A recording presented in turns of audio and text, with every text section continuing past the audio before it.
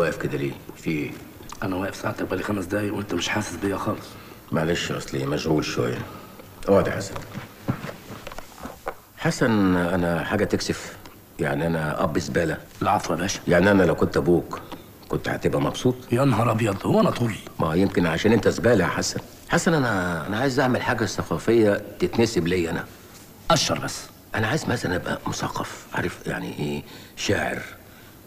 أكتب قصص وروايات ومقالات في الجرايد والحاجات اللي قلبين دماغنا بيها دي.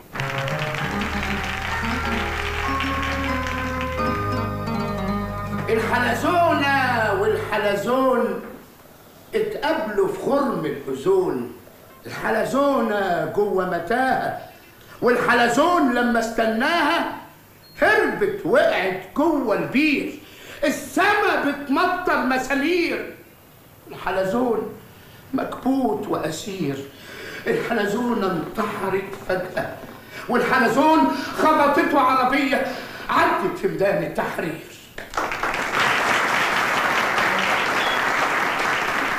معقولي أسمعكم آخر قصيدة كتبتها وهي من الشعر الحر.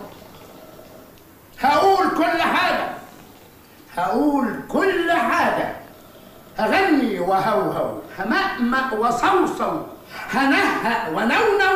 لكن في النهاية بحب السنونو بحب السنونو بحب السنونو.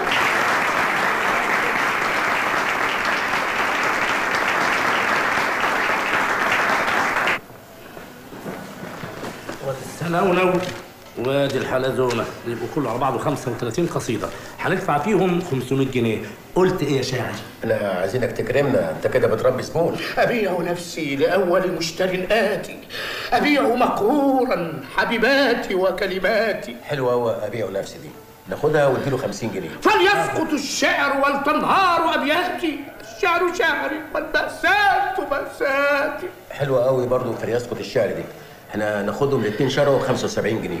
ونرجع له الحلزون. إحنا مش عندنا سنة عندنا يا باشا. راضي يا عم؟ إن الرضا في القلب. بالمعروف مش هنقعد هنا بقى طول الليل. راجع بقى الحلزونة وحساب السحر عندي الكتاب طلع من المطبعة يا باشا. طباعة زي الفل. هتلاقي كمان في الظهر نبذة مختصرة كده عن تاريخك وأعمالك. اعمل إيه؟ المصانع والشركات. إحنا بقى نعمل الكتاب ده بروباجندا كبيرة عشان ياخد الضجة بتاعته وبعدين ننزله السوق. لا. إحنا نعمل الكتاب ده بروباجندا كبيرة عشان ياخد الضجة بتاعته وما ننزلوش السوق. ليه حضرتك؟ حد هيشتري الكلام الفارغ ده يا حسن؟ وبعدين ولادي لو قروا الكلام ده هتبقى مصيبة. العيال دي بتفهم. الحلزونة جوه؟ موجودة ساعتك طيب. اشتري كل النسخة يا حسن. حاضر سعادتك. دي في حاجة؟ هو في مشكلة كده سعادتك. لجنة القيم بتاعت مجلس الشعب بعت انذار لسيادتك. ليه؟ عشان سعادتك من ساعه ما بقيت نائب في مجلس الشعب. وانت ما بتحضرش ولا جلسة. الناس بتوع الدايرة ما بيشوفوش سعادتك في الجلسات فبعتوا يشتكوا. والناس بتوع الدار عرفوا إزاي أنا ما بحضرش جلسات مجلس الشعب. حضرتك الجلسات دي بتتنقل في التلفزيون على الهوا. فريت يعني تحضر ولو جلسة. لا ما أنا ممكن احضر وما اطلعش برضه في التلفزيون. الأستاذ ممدوح نصر. مين؟ الأستاذ ممدوح نصر مخرج التلفزيون اللي بين جلسات مجلس الشعب قاعد في مكتبي بره. شرب شاي الياسمين وكيفه قوي يا باشا. سيد الرئيس لقد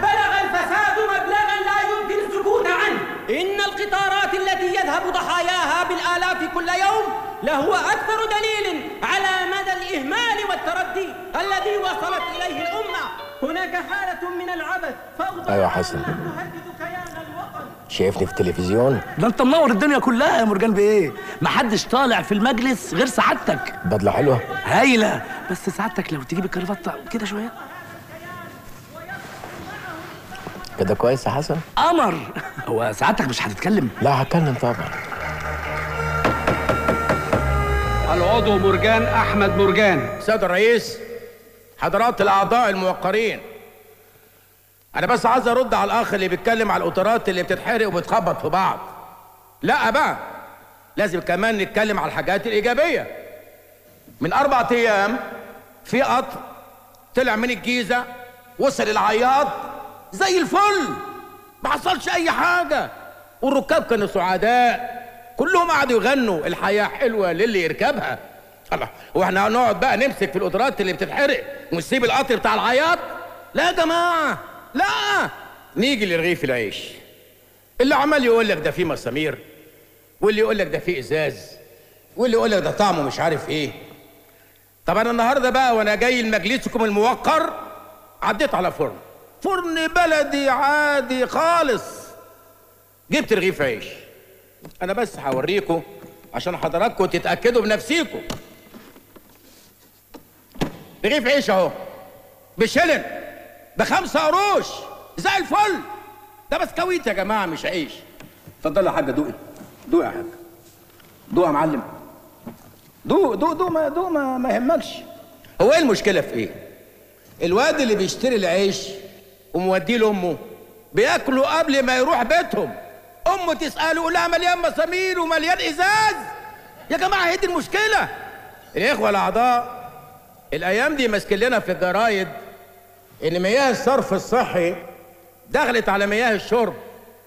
دي مناعة. بتدي مناعة للمواطن المصري. هو انت مش ساعات بتدي مصر للبني آدم عشان لا يصاب بهذا المرض؟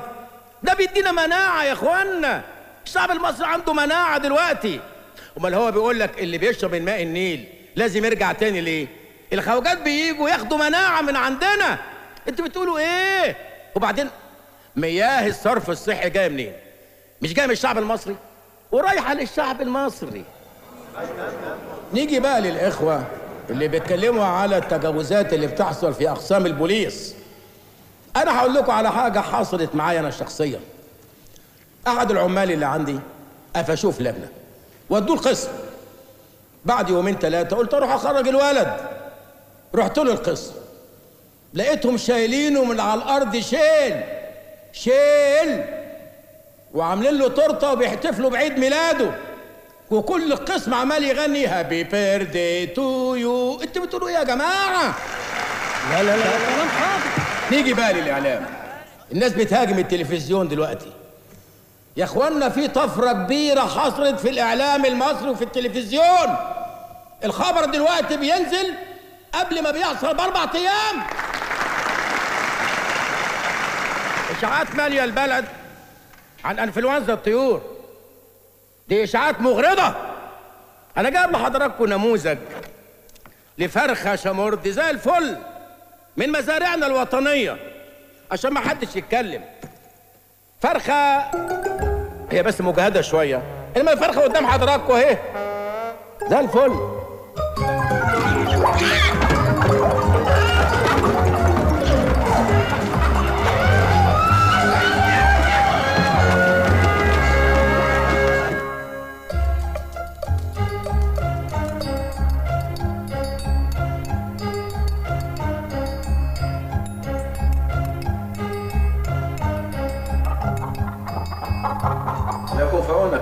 الوزير والله.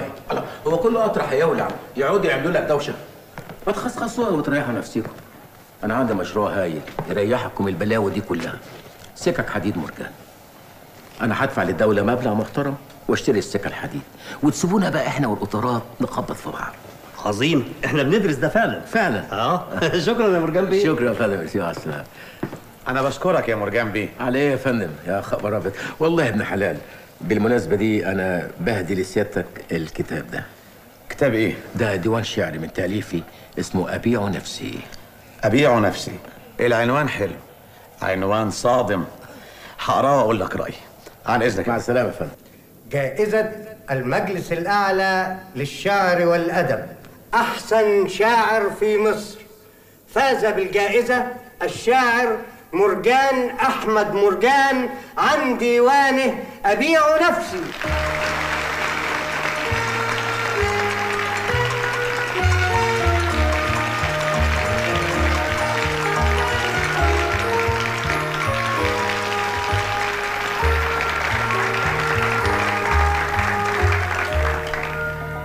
أيها السادة